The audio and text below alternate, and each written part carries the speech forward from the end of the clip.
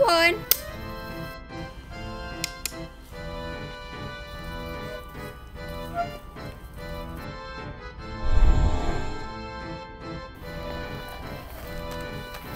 You can see this these lights on the road, by the way.